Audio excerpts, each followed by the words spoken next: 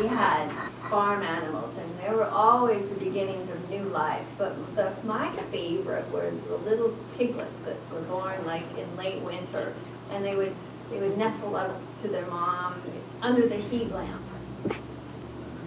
What is your favorite animal in the beginning?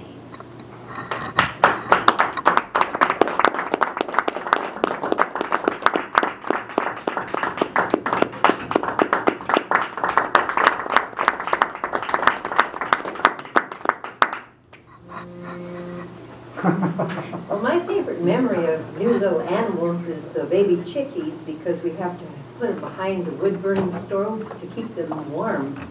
And I always thought they were so cute and I just loved that time of year when we had the chickens in the house.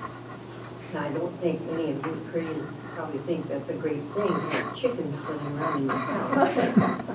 They didn't really run around because they had to be nestled, as Lee said, uh, in a box and covered up so they could stay warm, so that they could get started with life and they could have their new beginnings. And I could talk a minute tonight full. Thank you, Lee.